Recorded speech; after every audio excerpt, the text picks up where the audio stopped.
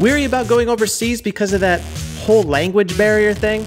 Well, I tell you what, there are two tech devices I'm going to share with you today that are going to help you make that decision a lot easier. Check it out.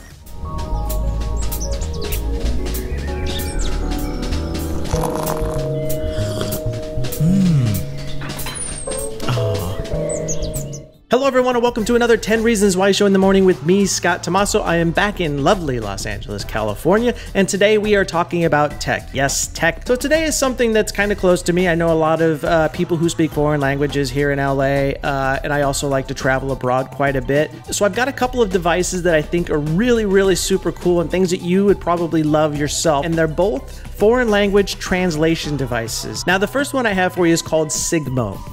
Sigmo connects through a Bluetooth connection to your smartphone and translates up to 25 different languages. And the cool thing about this is its simplicity. The design is simple, it's small, it's portable, and it's something you can take with you anywhere. And it works pretty simple, actually. Check it out. ¿Cómo puedo pasar a la estación del metro? In English, please. Ah, un momento. ¿Cómo puedo pasar a la estación del metro? Excuse me, sir. how I can go to the subway station? Go straight ahead 300 meters, then turn to the right, and you will see the subway.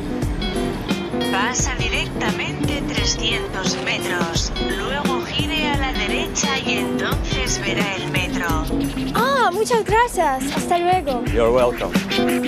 Super cool. Sigmo is is certainly one of those devices that I would look into buying. As a matter of fact, I may actually do that. And if you'd like to do it, they actually have an Indiegogo campaign uh, that you can go check out. They actually originally wanted fifteen thousand dollars to start this thing, just fifteen. Guess what they got? $250,000, which means that this market is needing something like these devices, and Sigmo is certainly at the top of that list. Now, the other device is NTT Docomo's virtual visor, I guess you could say, uh, but it takes translation one step further. Now, this device is similar to Google Glass in the way that it looks, anyways. So you put it on, it's like a pair of glasses or a visor. Uh, and what it does is if you're going through uh, another country or you're just walking into Koreatown here in LA. The visor will actually take the images on signs or menus or any reading material maybe that's in a foreign language and translate it into your language of choice so that you can understand what the heck you're looking at. Now, the cool thing about it is that it's in real time. So if I'm looking at a sign, it translates it right there.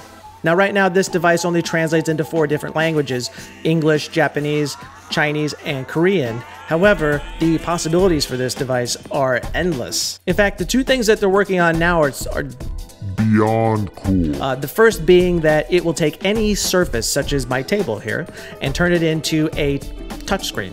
So you can look at your table or a wall and you can use it just like your tablet. The other one goes a step further and allows users such as you and me to touch augmented reality images. Now, what that means, I don't know exactly. I'm not sure exactly what that technology is going to be, but I can tell you one thing. When I was a kid, you would do something like that. You would squish people.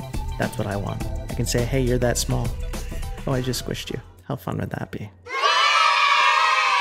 So that's my tech for today. Uh, I hope you guys make that trip overseas because really you guys should do it. And with these devices, it opens up doors and possibilities that maybe weren't there before. If you'd like to go get one, such as the Sigmo, just go to Indiegogo. They've got a campaign out there. Check it out. Make your make it make a purchase and let them know 10 Reasons Why Show sent you. Well, that's the tech news for today. Be sure to check out all the tech news at 10reasonswhyshow.com and let us know what you think. Leave a comment. I'd personally like to know if you're going to buy a device such as this. So until next time, I'm Scott Tomaso. Thanks for watching. Now go tech yourself before you wreck yourself. Please hang up and try again.